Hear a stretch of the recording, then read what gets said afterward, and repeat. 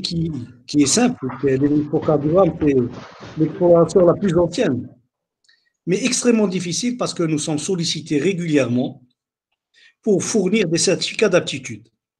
Alors, avec l'idée de, l'idée de penser que celui qui veut faire du sport, le médecin du sport, est une idée totalement fausse.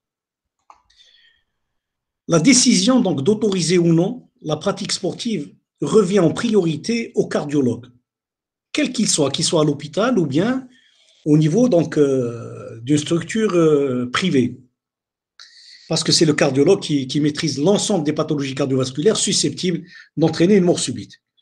Donc, l'examen d'aptitude pour dire oui ou non est extrêmement important. D'autant plus que la pratique sportive est largement recommandée par la communauté des cardiologues en raison de ses bénéfices sur la santé et sur la prévention des maladies cardiovasculaires. Mais cette pratique sportive, elle peut favoriser la survenue d'arythmies ventriculaires chez les sujets prédisposés, avec un risque relatif, un risque relatif de mort subite 4 à 5 fois plus élevé chez les athlètes par rapport aux sportifs de loisirs ou bien par rapport aux non-sportifs. C'est-à-dire que le fait de faire du sport va augmenter le risque de survenue de mort subite, mais chez des gens qui ont une pathologie sous-jacente, pas chez les gens qui ont un cœur tout à fait sain. Et la plupart des maladies cardiovasculaires susceptibles d'entraîner une mort subite sont dépistées par l'électrocardiogramme, 12 dérivations de repos. En effet, le CG, en identifiant précocement les sujets à risque, va nous permettre donc d'assurer une prise en charge appropriée et réduire ainsi le nombre de survenues d'événements cardiovasculaires. Et le meilleur exemple est celui de l'expérience italienne qui est unique en son genre. En Italie, l'introduction du dépistage obligatoire avec un ECG systématique chez tous les athlètes âgés de 12 à 35 ans. Ça, c'est réglementé hein. depuis 1979. Donc, euh, le bilan d'aptitude avec un ECG systématique est obligatoire en Italie. Donc, les Italiens, qu'est-ce qu'ils ont Qu'est-ce qu'ont fait les Italiens? Eh bien, ils ont lancé une étude en Vénétie. ils ont surveillé une population pendant à peu près 1 600 000 habitants de la région de Vénétie. Ils ont pris les sujets entre 12 et 35 ans. Et ils ont remarqué que l'introduction de, de cet électrocardiogramme obligatoire a permis de réduire de 89% l'incidence de mort subite d'origine cardiaque et elle est passée de 3,6 pour 100 euh, 000 athlètes par an en 1979-80, début donc de l'introduction systématique de l'ECG, à 0,4 pour 100 000 athlètes par an en 2003-2004.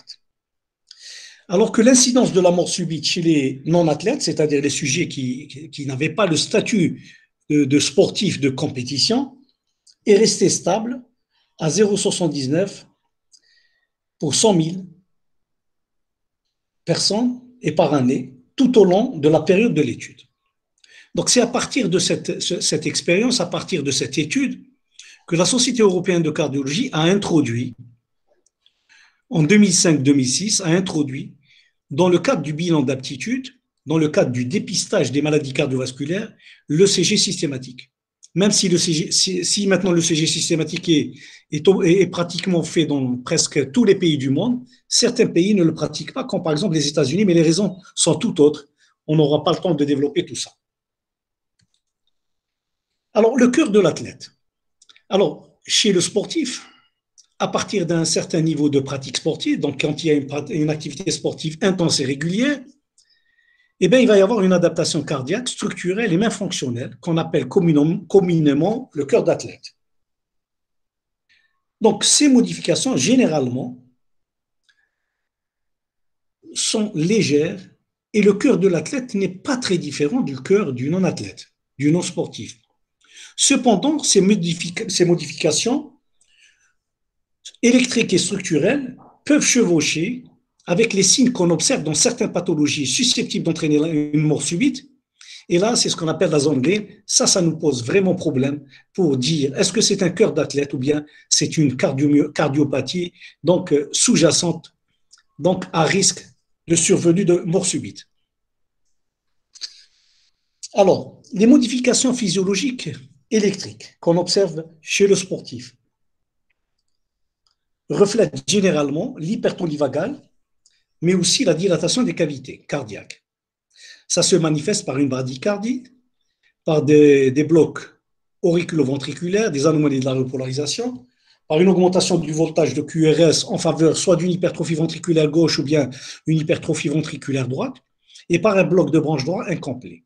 Donc, ce sont des modifications physiologiques électriques strictement normales. Et tout ce remodelage est influencé par l'âge de l'athlète, par donc le, son sexe, par sa, son appartenance ethnique et par le type et l'intensité du sport. Alors, l'évolution de l'interprétation de l'électrocardiogramme de l'athlète, je l'ai dit tout à l'heure, donc euh, le CG a débuté avec euh, le début des années 1900. Et malgré cela, l'interprétation de l'électrocardiogramme de l'athlète n'a été développée qu'à partir des années, de la fin des années 90. Donc, la première, donc ces normes d'interprétation de l'ECG, régulièrement modifiées ces, dernières, ces quelques dernières années, ont permis d'améliorer la détection des cardiopathies potentiellement mortelles et de réduire surtout, surtout, surtout les résultats faussement positifs. Alors, par le passé, donc euh, il y a à peu près 15 ans, 20 ans, quand on faisait un électrocardiogramme, à chaque fois qu'on avait une anomalie, euh, on demandait des examens complémentaires et on rentrait, dans un cercle vicieux. Et donc, cette interprétation de l'électro a évolué dans le sens de la réduction de, donc dans le sens de la réduction des, examens faussement positifs. Alors, un article en 98, publié par Corrado, un Italien, donc ce, cet article a montré pour la première fois les anomalies électriques en rapport avec la cardiomyopathie hypertrophique du jeune athlète. C'est-à-dire qu'on n'est pas encore, en 98, on n'avait pas de critères électriques en faveur d'un cœur de sportif. Donc en 98, première tentative, c'est celle de déterminer les variantes électriques, euh, électrocardiographiques en faveur d'une cardiomyopathie hypertrophique du jeune athlète. Ensuite, première expérience de la Société européenne de cardiologie en 2005. 2005, c'est hier. Donc c'est très récent. En 2005, l'ESC a publié pour la première fois les critères de l'ECG anormal, tout simplement. Et si on voit à l'intérieur de l'ECG anormal, on va se rendre compte que beaucoup de signes aujourd'hui ne sont pas considérés comme des signes anormaux et ils sont considérés tout simplement comme des signes normaux. Cinq années plus tard, en 2010, l'ESC établit pour la première fois les recommandations pour l'interprétation de l'ECG de la tête. C'est en 2010, c'est-à-dire une dizaine d'années seulement. Ces recommandations, basées sur la relecture de plus de 1000 électrocardiogrammes d'athlètes, rapportés dix, années plus, euh, ans plus tôt, pour vous dire qu'il n'y avait pas beaucoup de travaux. Donc, on avait les, aspects électriques spécifiques aux pathologies, mais on n'avait pas les aspects spécifiques en rapport avec l'activité sportive et les différents cut-offs entre ce qui est normal et ce qui est anormal. En 2012, un panel d'experts s'est réuni aux États-Unis, à Seattle euh, plus précisément, et a établi les critères de Seattle, qu'on appelle critères de Seattle, en intégrant les données pour la première fois des athlètes de race blanche et des athlètes de race noire, parce que toutes les études antérieures étaient faites avec surtout, surtout des athlètes de race blanche. En 2014, deux années plus tard, de nouveaux critères, appelés critères affinés, ont permis pour la première fois de déterminer un groupe avec euh, signes normaux de l'électrocardiogramme, ce qu'on voit en vert sur, la plaque, au milieu en jaune ou en orange, les signes limites, borderline, et à droite de l'écran, en rouge, les signes pathologiques qui ne correspondent pas à un cœur d'athlète, c'est-à-dire à un remodelage physiologique. malgré cela, donc, euh, on n'était pas très précis. Et trois années plus tard, trois années plus tard, donc en 2017, ce sont les normes actuelles d'interprétation qu'on utilise, elles sont le résultat d'un consensus d'experts. Il n'y a pas beaucoup d'études derrière. Donc, euh, consensus d'experts sur la base d'études, pas de méta-analyse, pas d'études importantes, mais sur la base d'une expérience donc d'études faites par rapport aux recommandations antérieures. Ces recommandations, à mon sens, permettent aujourd'hui de mieux nous guider dans notre démarche diagnostique, mais aussi de nous orienter surtout vers l'évaluation la plus appropriée. Parce que le problème chez le sportif, devant une anomalie, et souvent on voit ça, c'est d'aller demander une IRM, une échographie, une coronographie, une exploration électrophysiologique. Donc, ces nouveaux critères nous permettent donc d'avoir un algorithme précis sur la manière d'aller gérer ces situations. C'est ce qu'on va voir tout à l'heure. Alors, ces recommandations internationales pour l'interprétation de l'ECG de l'athlète, établies en 2017, ont permis de réduire le nombre d'investigations abusives de presque 70%. Par rapport à 2010, entre 2010 et 2017, l'évolution de l'interprétation de l'électrocardiogramme a permis, à partir d'études bien faites, de démontrer que le nombre d'investigations a été diminué de 70%. Mais ces critères, ces recommandations internationales sont faites pour les athlètes asymptomatiques âgés entre 12 et 35 ans qui s'entraînent régulièrement, au minimum 4 heures par semaine, et qui participent à des compétitions sportives d'équipe ou des compétitions dans des sports individuels. Ça sous-entend que ça ne s'applique pas aux autres, mais on peut, à travers ces critères, intégrer les autres. D'autant plus que beaucoup de sports de loisirs, même si on ne fait pas de compétition, on tend à faire autant d'intensité que dans la compétition. Ensuite, à partir de 35 ans, on sait que les causes de mort subite sont différentes, avec surtout, surtout la maladie coronaire. À ce moment-là, donc, on intègre dans notre raisonnement les situations qui peuvent avoir lieu chez cette catégorie de sportifs. Avant 12 ans, on considère que les modifications électriques n'entraînent pas de remodelage, pardon, les, modifications physiologiques n'entraînent pas de remodelage et que l'électrocardiogramme avant 12 ans est strictement identique entre celui qui fait du sport de haut niveau euh, par, euh, par, rapport à l'enfant qui ne fait pas de sport de haut niveau. Mais attention, en utilisant ces recommandations, il faut faire très attention car notre interprétation doit tenir compte du fait que le faible niveau d'activité sportive n'entraîne pas ce remodelage physiologique habituel la présence de symptômes cardiovasculaires va changer complètement notre raisonnement. La présence de notions de mort subite dans la famille, la notion d'antécédents familiaux de cardiopathie héréditaire, tout ça fait qu'on doit chercher, même si les critères qu'on utilise nous rassurent. Donc ces critères sont utilisés pour le sujet qui, est asymptomatique et qui n'a pas d'antécédents. Sinon, ça nous rassure sur le plan électrocardiographique, mais en aucun cas, on doit prendre une décision uniquement sur le tracé électrocardiographique. Alors, les aspects normaux de l'électrocardiogramme de l'athlète, aujourd'hui, c'est très bien établi. Tous ces signes présents sur un électrocardiogramme, donc, nous autorisent à signer un certificat d'aptitude sans aucune restriction et sans aucune condition. Et donc,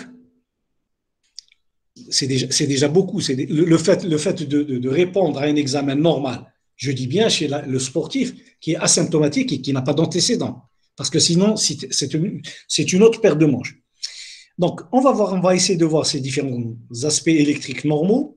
Alors, ces aspects sont dus à des modifications physiologiques induites par l'augmentation de la taille des cavités cardiaques, on l'a dit tout à l'heure, et qui se manifeste à l'électrocardiogramme par des signes d'hypertrophie ventriculaire gauche ou d'hypertrophie ventriculaire droite et par un bloc de branche droit incomplet.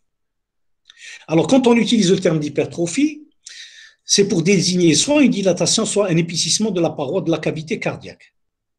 Alors, concernant l'hypertrophie ventriculaire gauche, elle est présente chez à peu près 50% des athlètes bien entraînés, particulièrement beaucoup plus fréquemment chez les athlètes de race noire. Et il faut se rappeler que l'hypertrophie ventriculaire gauche électrique qu'on retrouve donc sur l'électrocardiogramme n'est pas du tout corrélée à l'hypertrophie ventriculaire gauche retrouvée par échographie et par IRM cardiaque. Et donc, euh, au niveau de l'échographie et au niveau de l'IRM cardiaque, il y a des limites à ne pas dépasser. Et souvent, on est dans cette zone grise entre cardiomyopathie hypertrophique et cœur d'athlète. Voici l'exemple d'un footballeur de 19 ans qui a une, une HVG banale avec un, indice de Sokolov euh, au-delà de 40 mm. L'hypertrophie ventriculaire droite, elle est présente chez 13% des athlètes par rapport à 6% qu'on retrouve dans la population témoin, la population générale. Et donc, on considère qu'un HVD isolé, isolé, elle peut être présente avec les signes de la case verte, est considérée comme étant strictement normale. la même chose pour le bloc de bronche droit, incomplet. Donc, euh, les différentes études le retrouvent chez 10 à 60% des athlètes par rapport à 5 à 10% chez une population sédentaire. Mais si le bloc de branche droit incomplet est ainsi strictement normal, il faut faire attention. Et voici un exemple. Nous avons reçu il y a quelques années, je crois en 2007, un jeune footballeur de 16 ans. Donc, quand on avait lancé une étude avec la Société européenne de cardiologie et donc on faisait des électrocardiogrammes aux sportifs. Et donc, euh, on a été surpris de retrouver chez lui une CIA, ostium secondum. Alors, moralité, la lecture de l'ECG doit se faire après un examen clinique soigneux. Et donc, un bloc de branche droit isolé peut être associé à une petite communication interauriculaire. Maintenant, les modifications physiologiques induites par l'hypertonie vagale. En effet, l'augmentation du tonus vagal va entraîner plus fréquemment une bradycardie sinusale, une arythmie sinusale, un aspect de repolarisation précoce et des modifications de la repolarisation, particulièrement chez le, chez les sujets de race noire. Plus rarement, on peut avoir un rythme d'échappement jonctionnel ou un rythme atrial ectopique, un BAV du premier degré ou deuxième degré de type 1, Mobitz 1. Alors, concernant la bradycardie sinusale,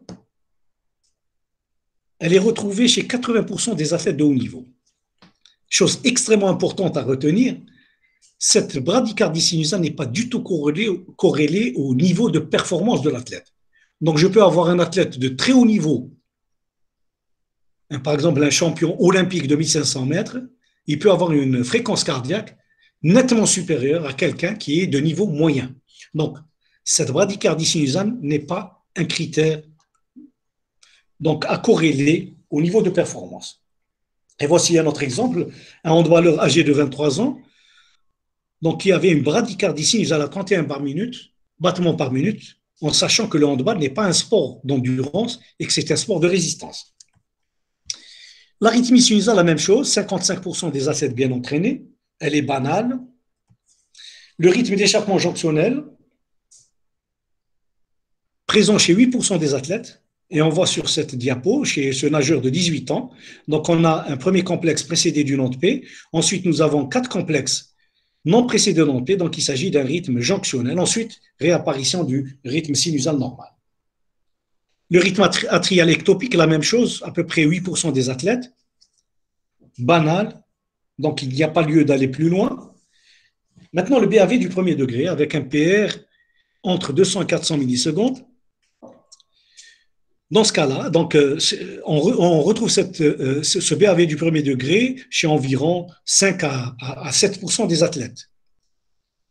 Le BAV du deuxième degré, MOBITS 1, avec période de Lucien Québec, il est moins souvent observé chez l'athlète, beaucoup plus lors du sommet que pendant les, que pendant les périodes de veille. Donc, on considère qu'un BAV du deuxième degré MOBITS 1 est tout à fait normal et qu'il n'y a pas lieu d'aller faire une exploration complémentaire, même pas une épreuve d'effort. L'aspect de repolarisation précoce, beaucoup plus fréquent chez des athlètes de race noire, 63 à 91% et chez presque la moitié des athlètes de race blanche. Voici l'exemple d'un footballeur de 23 ans, totalement asymptomatique, avec des signes, donc euh, un aspect de repolarisation précoce associé à une hypertrophie ventriculaire gauche, euh, et des amples aspect compatible d'un ECG de l'athlète.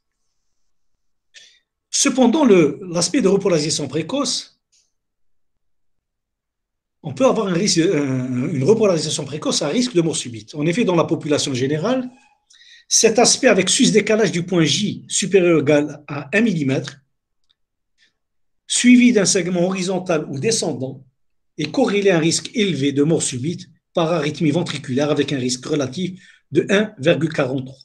Donc, des publications ont été euh, faites par des, auteurs japonais, par un, auteur français, Hesseger, et qui ont montré qu'il y a un risque de mort subite quand on a un segment ST horizontal ou descendant. Mais à ce jour, il n'existe aucune donnée en faveur d'un risque accru de mort subite chez l'athlète asymptomatique porteur d'un aspect de repolarisation précoce. Alors, que disent les recommandations aujourd'hui? Aussi bien donc en cardiologie du sport qu'en rythmologie, cet aspect, quel qu'il soit, doit être considéré comme une variante bénigne. Mais si on a un aspect comme l'aspect qui est sur la plaque, on doit surveiller surtout ne pas alarmer l'athlète et ne pas parler de risque de mort subite. Maintenant, la repolarisation de l'athlète noir. Elle est particulière, elle est caractérisée par un sus-décalage convexe du segment ST. Ce sus-décalage est présent chez 34%, 34 des athlètes noirs par rapport à 1% des athlètes caucasiens suivi du don de T négatif chez 13% des athlètes de race noire et 4% des témoins sédentaires noirs. Donc cet aspect, il faut bien l'avoir en tête. Cet aspect est strictement normal. C'est un aspect qui paraît dangereux, il est strictement normal, il ne mérite aucune exploration complémentaire. Chez le jeune de 12 à 16 ans, on peut avoir un aspect juvénile avec des ondes, T négatives de V1 à V3. Donc, c'est un aspect, c'est une variante normale de l'électrocardiogramme du sportif. On a terminé avec euh, la case verte. Tous les signes qu'on vient de citer sont strictement normaux et ne méritent aucune exploration complémentaire et ne méritent aucune question. On ne se pose pas de questions et surtout, on ne met pas donc anomalie, on met électrocardiogramme dans les limites de la. Ce sont des signes physiologiques normaux. Maintenant, il y a une case jaune, on l'a vu tout à l'heure, c'est les aspects limites de l'électrocardiogramme de l'athlète. Donc, représenté par la déviation axiale gauche, la déviation axiale droite, l'hypertrophie atriale gauche ou droite, et surtout, surtout le bloc de branche droit complet. Il n'y a pas longtemps, le bloc de branche droit, donc dans les critères affinés de 2014, le bloc de branche droit complet faisait partie de la case rouge. Ensuite, à l'issue de la réunion de consensus de 2017, on a fait balancer le bloc de branche droit complet vers donc la case des aspects limites. Alors, ce qu'il y a lieu de retenir, c'est que quand on a un seul signe parmi ces cinq signes, on considère que l'électrocardiogramme est normal et on ne fait aucune exploration complémentaire. Par contre, si on a au moins deux signes, on considère que c'est pathologique et on va demander des examens complémentaires. Alors, les, déviations axiales et les hypertrophies artériales étaient responsables de presque 43% des aspects électriques classés antérieurement comme anormaux chez l'athlète sans être associés à des anomalies structurelles ou fonctionnelles significatives le fait d'avoir retiré ces déviations axiales et hypertrophie atriale quand elles sont isolées, donc de la case rouge, ça nous a permis de réduire de manière importante donc, les résultats faussement positifs de l'électrocardiogramme. Étude intéressante publiée en 2013, donc étude incluant 2533 athlètes, 9997 contrôles et 117 cardiomyopathie hypertrophique. Eh bien, la présence d'un signe isolé d'hypertrophie atriale ou de déviation axiale n'a pas du tout été associée à une atteinte myocardique. Alors que chez les patients porteurs, les 171 patients porteurs de cardiomyopathie hypertrophique, l'association entre anomalie en rapport avec la CMH et déviation axiale ou hypertrophie atriale était retrouvée dans 89%. Donc, quand ces déviation axiale ou hypertrophie atriale isolée, on est sûr qu'il n'y a pas de cardiopathie sous-jacente. Maintenant, quand il y a au moins deux signes, il faut aller rechercher une atteinte myocardique. Concernant la, déviation axiale, plus fréquente, plus fréquente, c'est relatif, hein, c'est 1,46% des athlètes par rapport à 0,96% des non-athlètes. Et cette déviation axiale gauche est corrélée à l'augmentation du ventricule gauche. Par contre, la déviation axiale droite n'est pas du tout corrélée à l'augmentation du ventricule gauche, du ventricule droit, pardon, et elle est beaucoup plus fréquente chez les athlètes adolescents, 16%, par rapport aux athlètes adultes, 1% seulement. Même chose pour l'hypertrophie atriale droite et gauche. L'hypertrophie atriale gauche est corrélée aux dimensions de l'oreillette gauche, alors que l'hypertrophie atriale droite n'est pas corrélée à l'augmentation de l'oreillette droite. Le bloc de branche gauche, pardon, le bloc de branche complet, sa prévalence chez l'athlète est de 0,5 à 2,5%, alors que sa prévalence dans la population générale est de 1%. Chez l'athlète, sa signification est incertaine, même si certaines études aujourd'hui dans la population générale ont montré que il, donc, euh, c'est corrélé à un risque de mortalité un peu plus grand, même quand il n'y a pas de cardiopathie sous-jacente. Et voici l'exemple d'un footballeur âgé de 24 ans, totalement asymptomatique, un footballeur de niveau moyen, donc euh, euh, si mes souvenirs sont bons, donc c'est volume horaire de 6 heures d'entraînement par semaine. Donc il avait un bloc de branche droit complet isolé. À ce moment-là, quand on avait fait cette étude, les critères n'existaient pas. C'était en 2007 et en 2008. Donc on faisait systématiquement des, des bilans cardiovasculaires à l'ensemble de ces athlètes, de ces sportifs qui avaient des anomalies électriques parce qu'on n'avait pas de repères. On a terminé avec les aspects limites. Maintenant, on va parler du dernier groupe. Ce sont les aspects anormaux de l'électrocardiogramme. Cette partie est extrêmement importante.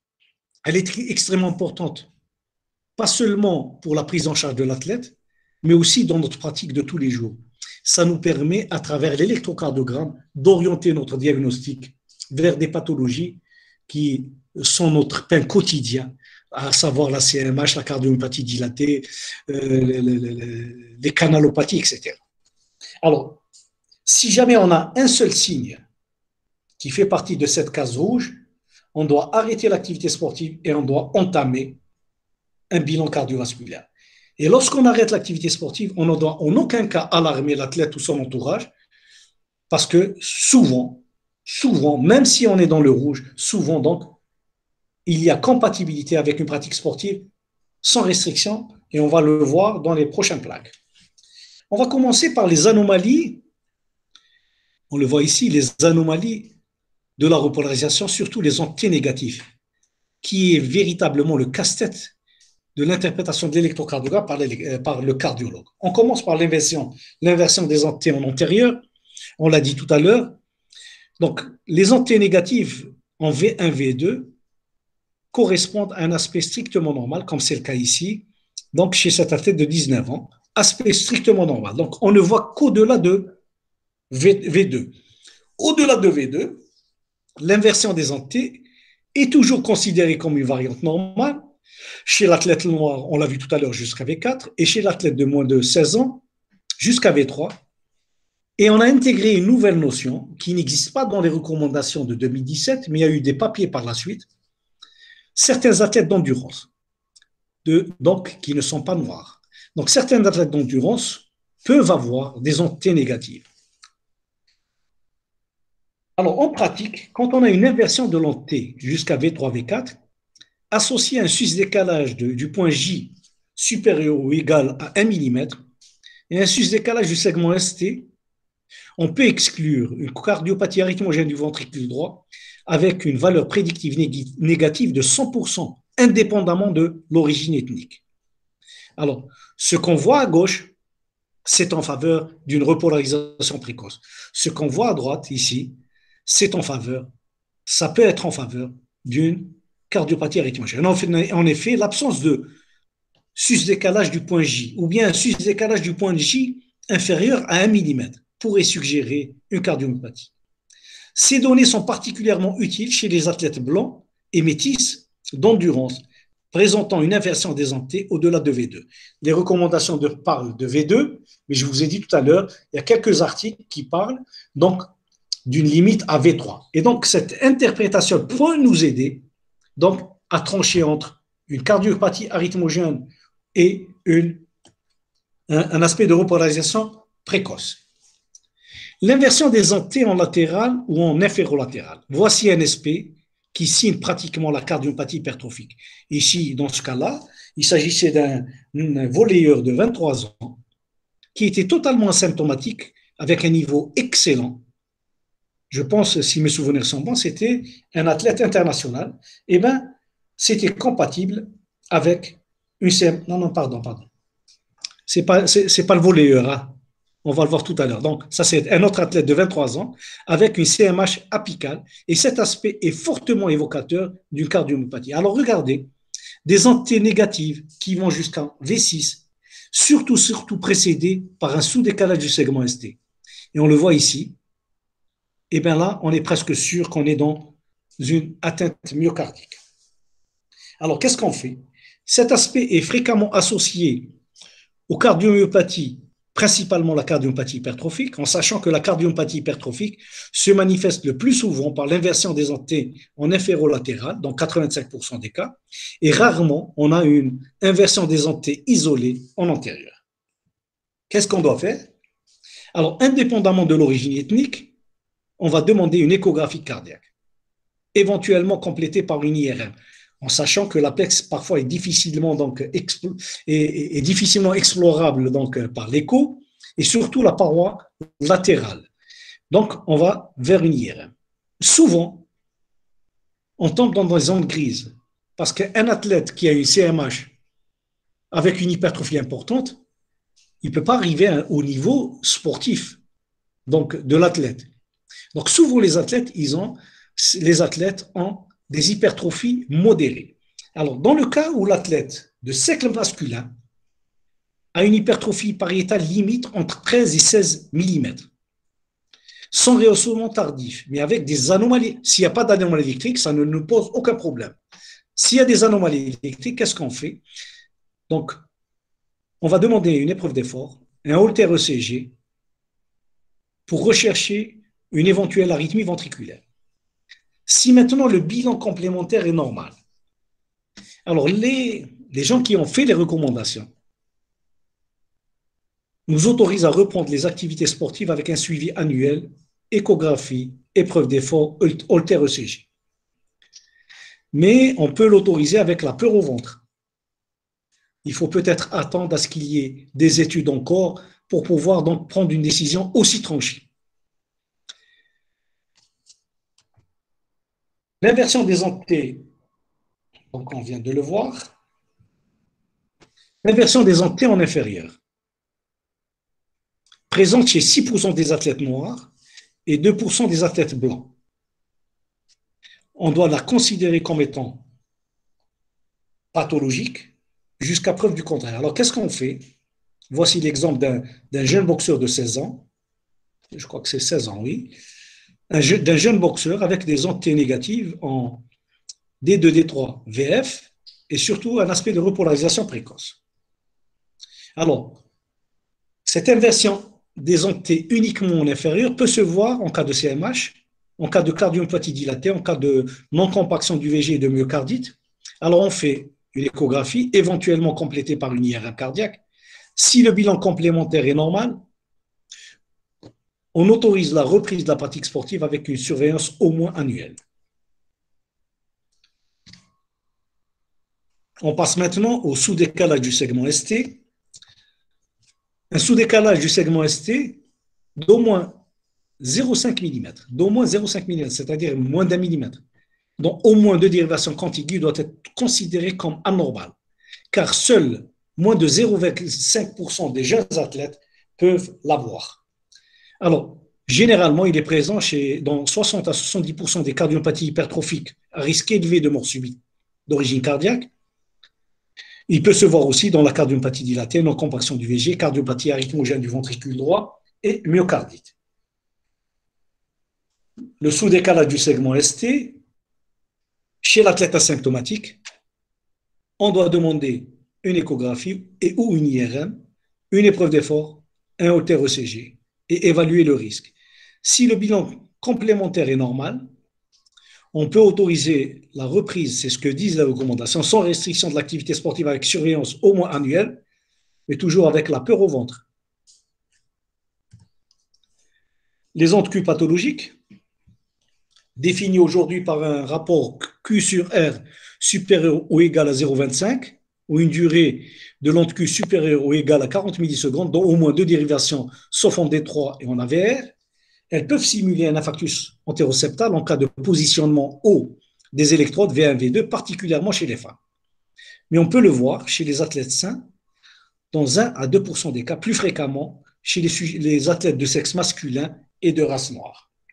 Voici l'exemple d'un footballeur de, 30, de 31 ans qui nous a été adressé si mes souvenirs sont bons, je crois que c'était en 2004 ou en 2005. 2004, je crois. À ce moment-là, donc, il avait moins de 31 ans. L'électro date de 2007 ou 2008. Il était encore plus jeune. Et donc, euh, il avait juste un aspect QS en V1, V2, V3. Il est passé en médecine du sport. donc, une épreuve d'effort a été faite, strictement normale. Il voulait confirmer, donc on fait une échographie, on trouve une hypokinésie apicale. Donc, qu'est-ce qu'on fait? Donc, euh, on complète à ce moment-là, en 2004, par une coronographie, on trouve une petite plaque sur l'IVA. Notre, confrère qui a fait l'échographie, donc rapidement, sur la base de l'absence de significative, a rassuré le sportif qui était heureux. Alors qu'en réalité, qu'est-ce qu'on a fait? Donc, quelques temps plus tard, on a complété par euh, une scintigraphie myocardique et, et la scintille montre effectivement la présence d'un infarctus apical, d'un infarctus apical sans viabilité à l'intérieur. Donc, cet athlète, avec beaucoup de précautions, nous l'avons autorisé à reprendre son activité sportive, donc sous certaines conditions. Bien que les entités pathologiques isolées ne soient pas associées à une atteinte myocardique, l'arrêt temporaire des activités sportives est nécessaire avec un bilan cardiovasculaire, au moins une échographie. Si l'échographie se révèle normale, aucun examen supplémentaire n'est généralement nécessaire. Maintenant, s'il y a une forte suspicion de coronaropathie, eh bien, on peut aller à la scintigraphie myocardique, à l'écho de stress et même à l'IRM. Et si tout est normal, une reprise des activités sportives sans restriction est autorisée avec un suivi au moins annuel. Le bloc de branche gauche complet, toujours considéré comme pathologique jusqu'à preuve du contraire. Il est fréquent dans les cardiopathies ischémiques, dans les cardiopathies dilatée, mais il est rare dans les cardiopathies hypertrophiques. Et parfois, on le retrouve chez moins de 1% des athlètes. Et voici l'exemple d'un footballeur de loisirs, donc chez qui on a retrouvé un bloc de branche gauche complet et toutes les explorations faites se sont révélées strictement normales. Donc, euh, euh, il a déjà un suivi de, je crois, de, donc je pense que c'était en 2004 ou de, 2000, pardon, 2015 ou 2016. Et donc, euh, son dernier contrôle remonte à moins d'un mois. Il est donc, il ne fait plus d'activité sportive, mais il est totalement asymptomatique avec cet aspect de bloc de branche gauche complet.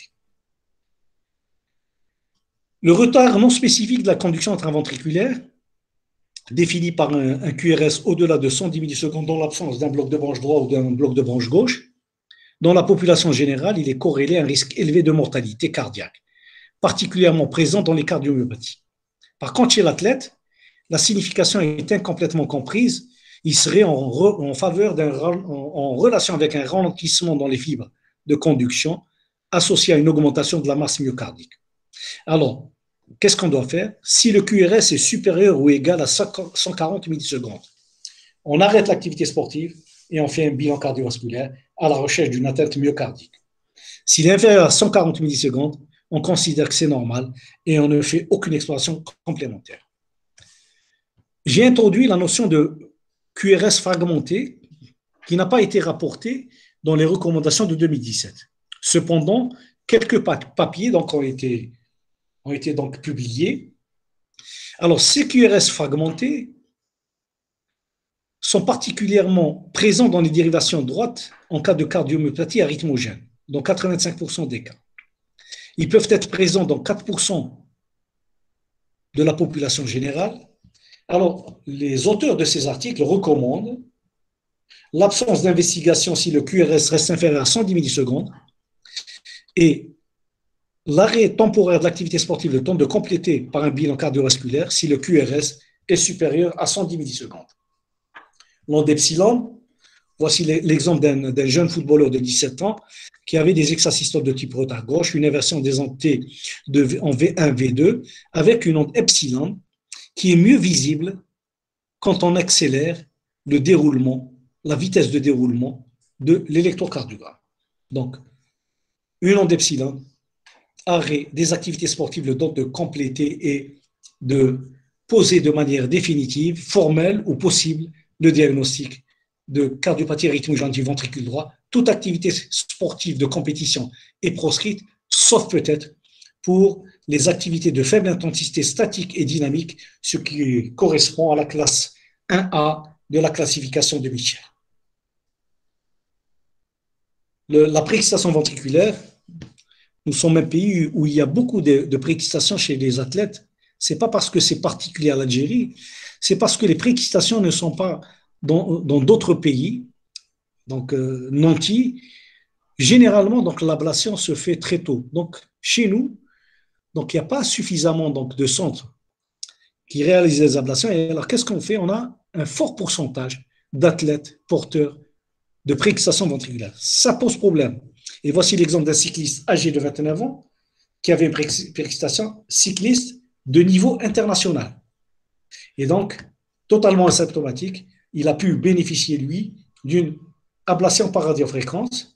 Alors, le, danger de, la préexcitation, ce n'est pas la préexcitation en elle-même, mais c'est le risque de survenue de fibrillation atriale qui va emprunter le faisceau aberrant et qui, risque d'entraîner une fibrillation ventriculaire.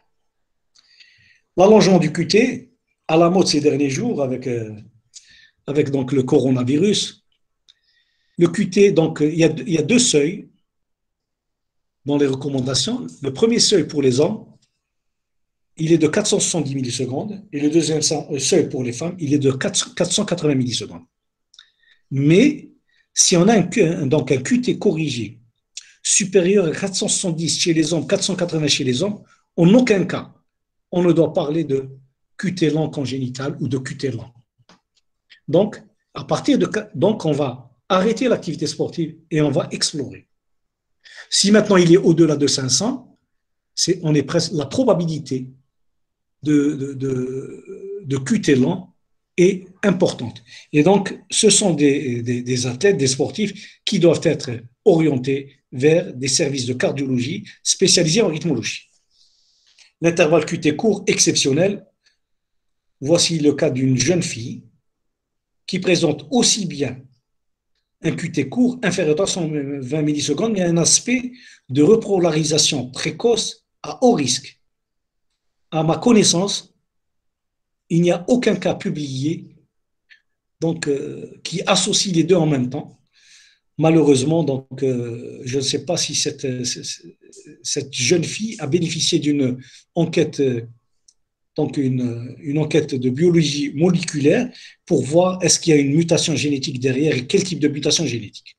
Alors, dans ce cas-là, en l'absence, compte tenu de la rareté de ce syndrome et l'absence de données chez l'athlète asymptomatique, il est rarement recommandé de considérer un intervalle QT corrigé inférieur ou égal à 320 millisecondes comme anormal et aller faire un bilan cardiovasculaire en recherchant une notion de syncope, de fibrillation atriale, d'arythmie ventriculaire et d'antécédents familiaux.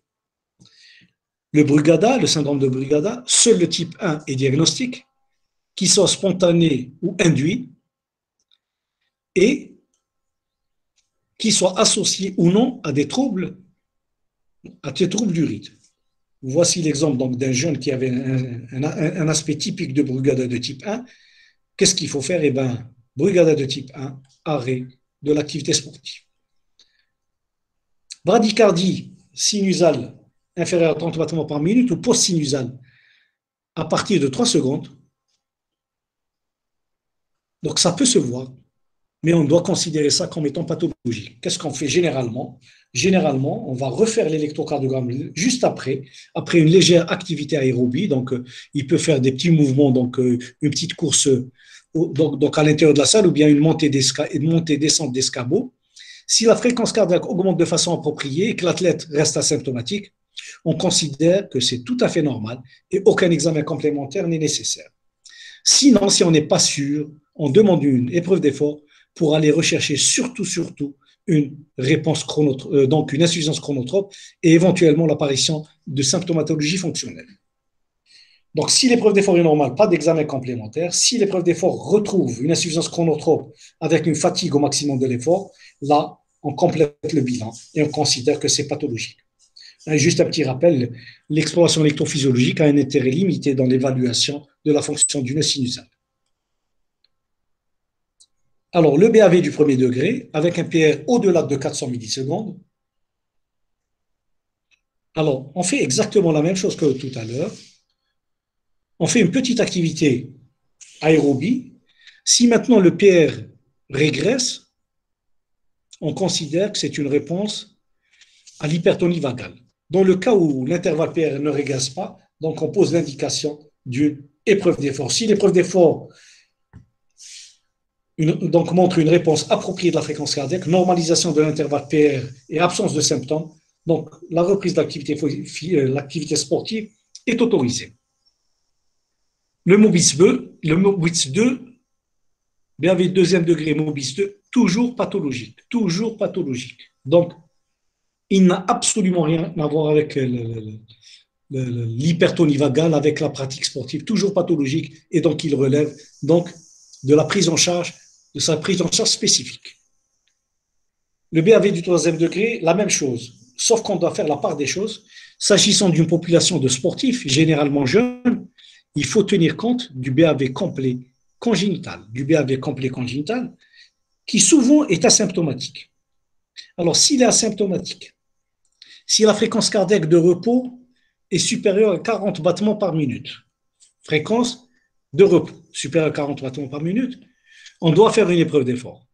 Si maintenant l'épreuve d'effort permet d'atteindre donc une fréquence acceptable, comparable à la fréquence donc réalisée lors de l'activité sportive, certains auteurs disent qu'on peut autoriser la pratique sportive, même si aujourd'hui il y a une tendance à implanter donc ces, enfants porteurs de BAV complet.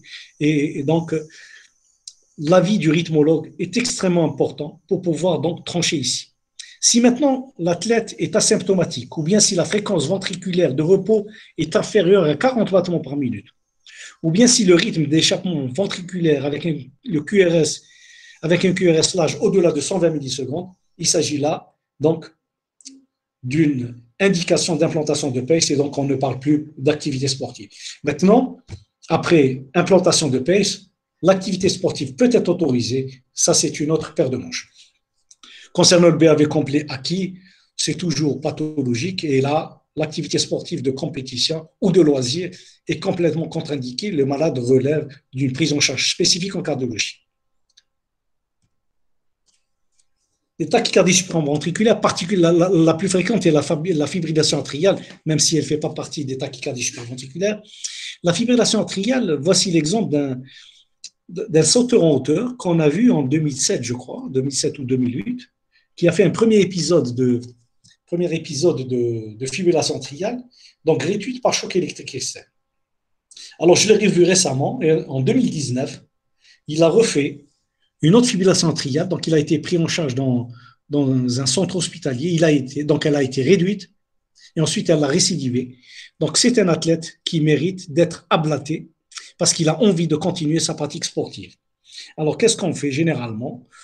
L'idéal, c'est de faire une ablation. Maintenant, si le sportif refuse l'ablation, il, donc, il peut continuer à pratiquer son sport, ça dépend de quel sport il s'agit, sous traitement médical sauf s'il y a indication donc, de traitement anticoagulant, ce qui n'est surtout pas le cas chez les jeunes athlètes. Les extrasystoles ventriculaires, on considère que les extrasystoles multiples, quand il y a au moins deux extrasystoles sur un tracé standard de 10 secondes, à partir de là, donc on doit explorer. Ça peut se voir sur un cœur sain, ça peut se voir sur une pathologie sous-jacente. La même chose pour les arythmies ventriculaires, les doublés d'extrasystole ou les tachycardies ventriculaires non soutenues. La même chose, donc Il faut une exploration pour ensuite aboutir soit à un cœur sain, et on va le voir tout de suite, soit sur un cœur pathologique. Et voici l'exemple d'une tachycardie ventriculaire sur cardiopathie rythmogène du ventricule droit. Là, on est dans la contre-indication absolue à la, pratique sportive et vers une indication et prise en charge spécifique. Par contre, ici, voici l'exemple d'une tachycardie que j'ai retiré de, j'ai tiré de la littérature. Une tachycardie de la chambre de chasse du ventricule droit chez un cours de demi-fond avec une TV large et complexe au cours d'un effort. L'aspect de bloc de branche gauche et l'axe inférieur sont compatibles avec une tachycardie de la chambre de chasse du ventricule droit. Voici une bonne indication d'une ablation par radiofréquence. Et si, si les résultats sont corrects, une reprise d'activité sportive sans aucune restriction. La même chose pour les TV fasciculaires, qui sont considérées comme bénignes, mais qui ne sont pas bénignes dans tous les cas. Voici donc une TV fasciculaire issue d'une hémibranche postérieure gauche. Voici une TV fasciculaire issue d'une hémibranche antérieure gauche, ablatée avec succès au niveau du CHU de Mustapha. Je termine avec la ventriculaire polymorphe, qui est dangereuse, qui est mortelle, juste pour dire que notre examen clinique d'aptitude ne va pas la, retrouver. Notre ECG de base ne va pas la retrouver. Donc, si, si le, sujet était symptomatique, s'il parle de palpitation au maximum de l'effort, là, il faut, faire une, il, aller faire une épreuve d'effort. Mais pas faire une épreuve d'effort à 85 ou à 100% de la fréquence maximale théorique. Il faut faire une épreuve d'effort au maximum de l'effort, c'est-à-dire limité par les symptômes. Parce qu'il y a un seuil à partir duquel le trouble de l'excitabilité va apparaître avec des extrasystoles, ensuite une tachycardie ventriculaire bidirectionnelle qui va donc passer en tachycardie ventriculaire polymorphe et parfois elle va dégénérer en fibrillation ventriculaire. C'est une, la présence d'une tachycardie ventriculaire polymorphe catécholergique, donc nécessite une prise en charge spécifique. Elle est généralement incompatible avec la pratique sportive. Je crois avoir terminé. Je ne sais pas si on a encore un peu de temps. C'est Salim Oui, oui. Quelques cas cliniques. Hein. J'ai pris quelques cas cliniques juste pour résumer ce qu'on vient de dire.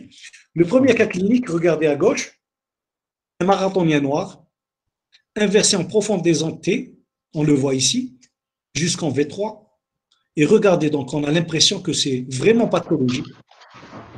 Alors qu'ici, à droite, on a un athlète caucasien, on a des anténégatives jusqu'en V3, mais elles sont nettement moins importantes et moins prononcées qu'à gauche. En réalité, à gauche, on est dans une situation strictement normale.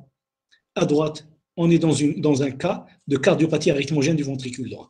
Donc, il faut tenir compte de ces spécificités et des recommandation de 2017 pour pouvoir trancher rapidement. Et là, l'électrocardiogramme nous permet d'emblée, et on voit que l'anténégative ici n'est pas précédée d'un sus-décalage du segment ST, alors qu'ici, elle est précédée d'un sus-décalage du segment ST, et nous l'avons vu tout à l'heure, valeur prédictive négative de 100%. Deuxième cas clinique, voici un survivant d'un arrêt cardiaque que j'ai pu retirer de la littérature. Hein. On voit ici une, encoche de, point J en inférieur, de grande amplitude, suivi d'un ST qui est horizontal ou descendant.